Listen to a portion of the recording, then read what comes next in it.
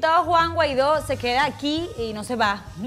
No le permitimos irse. Sabemos que tiene un compromiso en Nueva York, en la Internacional Guaidó Socialista. no se va. Pero también supimos que, que, bueno, que es uno de esos admirables venezolanos quienes se unieron a Leopoldo López y a Daniel Ceballos en esta huelga de hambre para exigir eso, condiciones, una fecha de las elecciones y también la libertad de los presos políticos, el cese de la censura y de la persecución.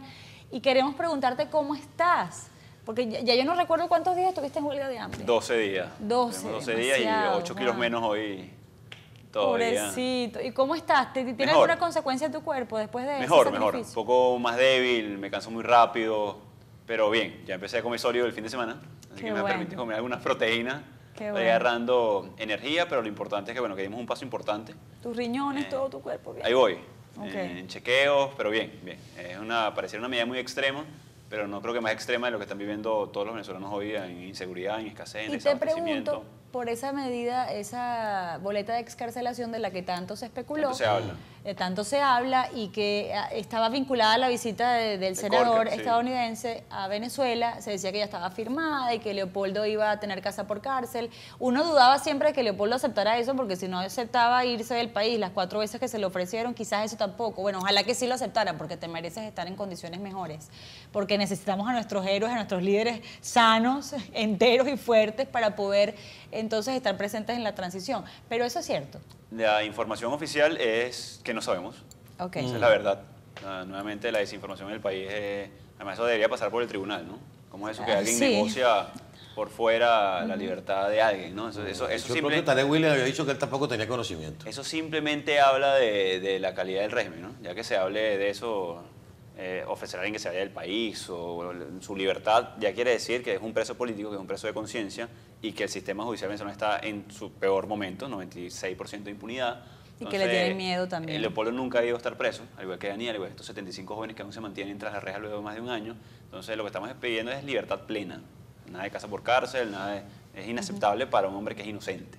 Además, estoy seguro que además Leopoldo está exigiendo lo mismo, libertad. O sea, nunca debió ser juzgado en esas condiciones.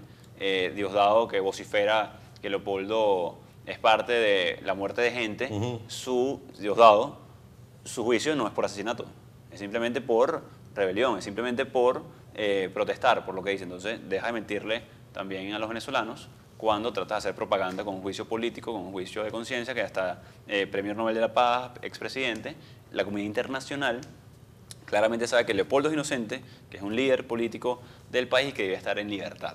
Esa es la, la verdad. Acabas de hablar de la comunidad internacional y vas a ir a la convención anual Sí. de la Internacional Socialista. Así es. Yo tuve la oportunidad para este canal, perdón, en junio pasado, en México, Ujú. asistir a, a la, a la reunión de la Internacional Socialista, la transmitíamos en vivo para acá.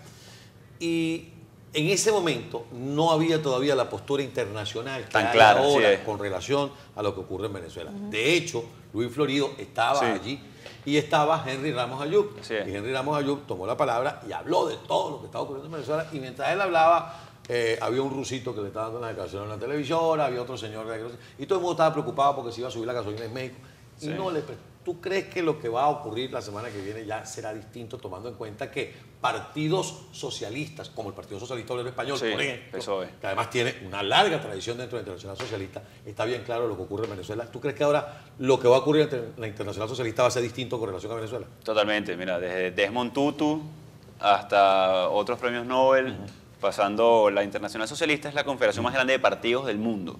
Por favor, Además, permíteme hacer la aclaratoria. El Partido Socialista Unido de Venezuela no pertenece No forma eso- parte. eso a es la bueno que lo Internacional aclaren Socialista. porque no, cierto. puede haber no una calza los puntos para Bueno, entrar que- en esa... Terrible que confusión. Felipe González hace ayer, antier dijo, mira, que eso no representa el socialismo real es. del mundo. Así que no se, no se preocupen por el Valga nombre. aclaratoria y me disculpa, te interrumpí. No se, pregunten- no se preocupen por el nombre de la confederación de partidos. Eso. es. Son partidos de centro izquierda, progresistas, socialdemócratas, eh, claramente democráticos del mundo. Entonces estoy seguro que va a haber una postura muy firme con respecto al caso de Venezuela. Vamos a eso, exponer nuevamente el caso de violación de derechos humanos en Venezuela. ¿Cuántos países del mundo están allí? Están más de 200 países. Eh, no tengo ni siquiera la cifra exacta de cuántos de impresionante. partidos, ah, pero es una cosa increíble. ¿Pero crees que hay allí una resolución de todos Bueno, en esperamos. conjunto? Estamos trabajando, ¿Están estamos trabajando en eso. eso? Estamos trabajando estoy, en eso. Estoy vendiendo la, la- la Eh, estrategia. vendiendo, eh, pero no podemos darle un tubazo aquí. ¿Cuándo? ¿El lunes en Nueva York? Lunes y martes. Va a ser Sí, lunes y martes en Nueva York. dará- a ver, pregúntale al administrador de este canal, ¿dará tiempo que me vaya el lunes? Sí. Un momentico y de vuelta para Nueva York.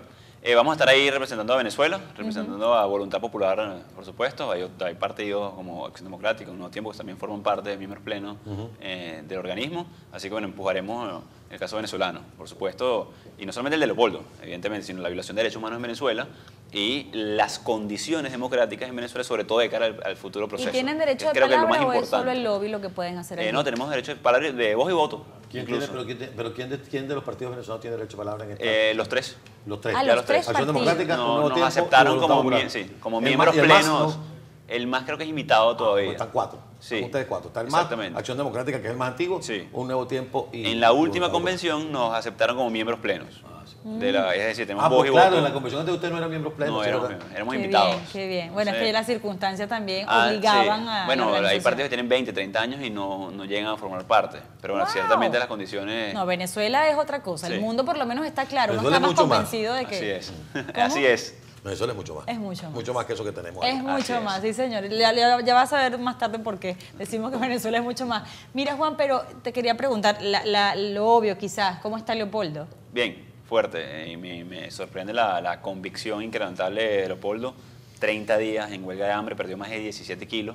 Me decía Roberto Marrero, uno de sus abogados, está más delgado que yo y ya yo perdí Wow. casi 7, 8 kilos, pero con una convicción inquebrantable, convencido de, de- de- de trabajar por la liberación de los presos políticos, no la de él, de los presos políticos en Venezuela, las condiciones democráticas necesarias para generar el cambio en el país, porque no es fecha, no, recordemos, condiciones, condiciones democráticas para generar el cambio, que es lo que estamos luchando realmente, para que haya agua en Vargas, en Catiramar, para que genere empleos productivos, para que nuestros sueños y de los jóvenes no sea irse por el aeropuerto, sino quedarse produciendo en nuestro país. Necesitamos condiciones democráticas y cambiar lo que está pasando en este país y tenemos una gran ventana de oportunidad el próximo 6 de diciembre. No, no es poco lo que podemos hacer todos.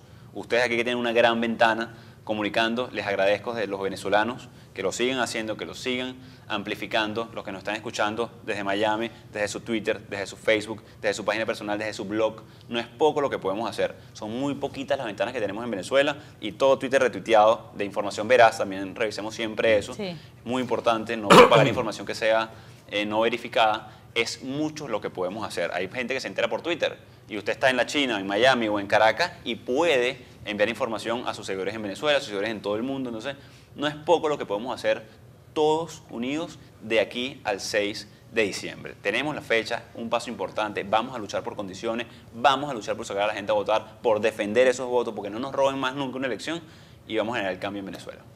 ¿En qué canales van a hacer la campaña?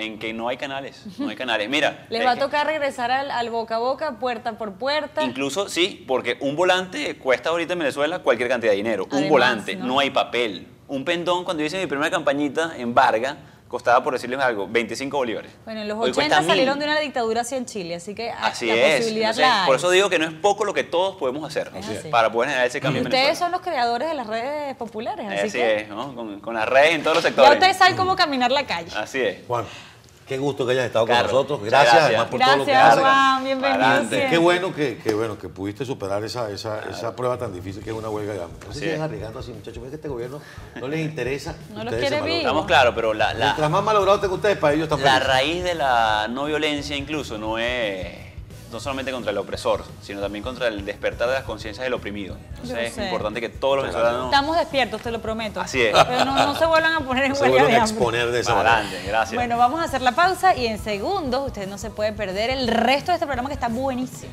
Ancho.